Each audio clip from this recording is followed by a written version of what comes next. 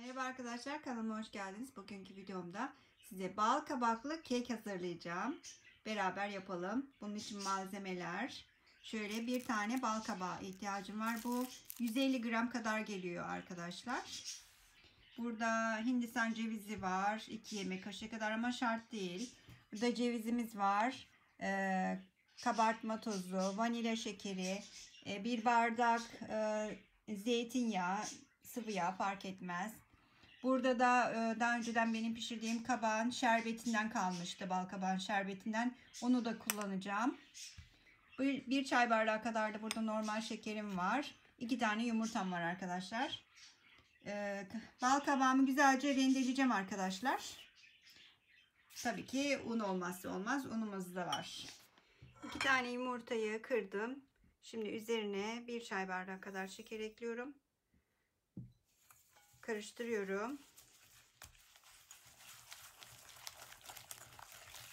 Şeker eriyesiye kadar, köpük köpük olasıya kadar karıştıracağım arkadaşlar. Vanilya şekerini de katıyorum. Evet şöyle gördüğünüz gibi köpük köpük oldu. Bir bardak sıvı yağımızı ekliyoruz. Zeytinyağı fark etmez. Tereyağı da olur. Burada kabağı rendeledim gördüğünüz gibi bal kabağını. Havuç gibi görünüyor değil mi? Bal kabağını rendeledim. Burada da e, kabağın şerbetli suyu. Daha önceden kabak tatlısı yapmıştım. Onun şerbetli suyu arttı. Onu da değerlendirmek için kullanıyorum. Burada dolabımda çikolata vardı. İstemezseniz koymayabilirsiniz. Bu çikolatalarla cevizi rondoda çekeceğim böyle. Ağza gelir iri şekilde. Onu da ekleyeceğim arkadaşlar. Şimdi ben bunları güzelce bir rondoda çekeyim ikisini beraber buluşalım. Evet arkadaşlar rondoda çektim. Şöyle gördüğünüz gibi cevizli çikolataları. Onları da bir ekleyeyim. Şöyle. Hindistan cevizini de ekliyorum. Biraz daha karıştırıyorum. Kabak rendesini ekleyeceğim. Bal kabağımı denemediyseniz denemenizi tavsiye ederim. Çok güzel oluyor.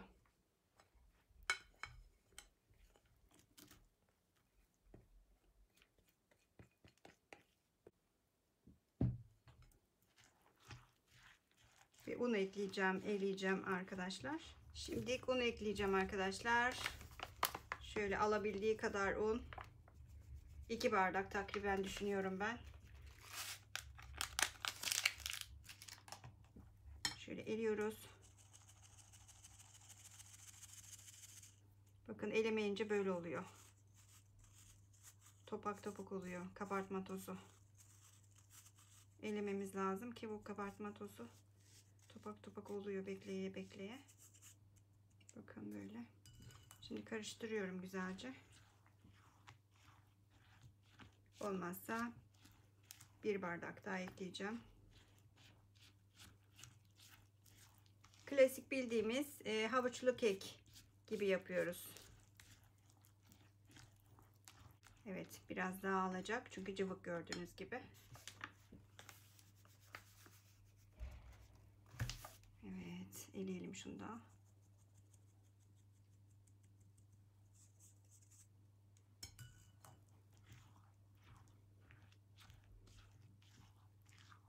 Biraz daha gerekiyor.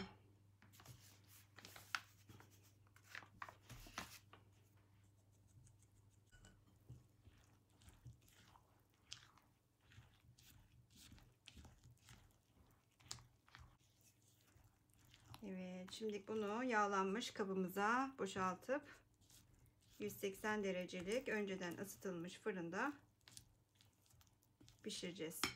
Şöyle bir kabım var. Yağlayacağım önce bunu güzelce ne. Sonra içine boşaltacağım. Evet, unlamış olduğum formun içine döküyorum.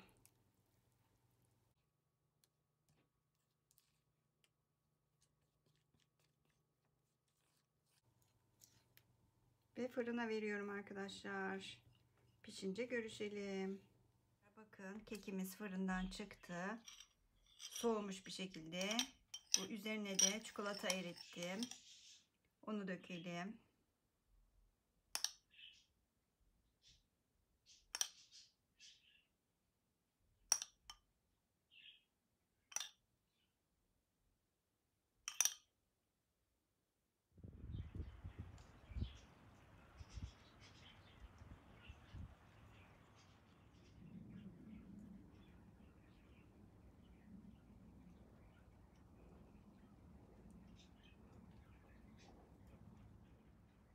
Gerçekten muhteşem görünüyor arkadaşlar. Şöyle bir dokusunu göstereyim size. Bakın.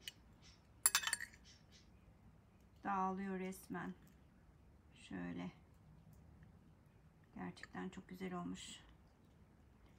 Buraya kadar beni izlediğiniz için teşekkür ederim arkadaşlar. Bir dahaki videolarda görüşmek üzere. Hoşçakalın. Allah'a emanet olun.